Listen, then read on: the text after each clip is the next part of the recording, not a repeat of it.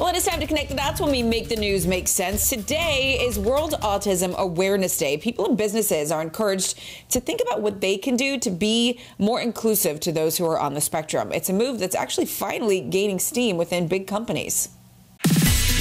More and more high profile companies are working to make their workforce more inclusive to people with autism. Let's connect the dots. Autism is a disorder that impacts the body's nervous system. Symptoms include difficulty with communication, obsessive interests, and repetitive behaviors. People on the spectrum are also known to have a deep sense of creativity and imagination, which many companies agree is incredibly beneficial within a workplace.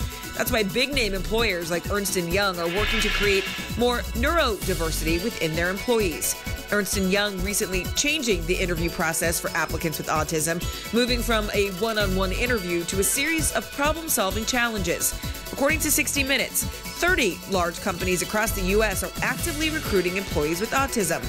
Despite all this, adults on the autism spectrum in the U.S. are still experiencing high rates of unemployment. One study reported over 60% were unemployed, showing much more work needs to be done. And that's connecting the dots.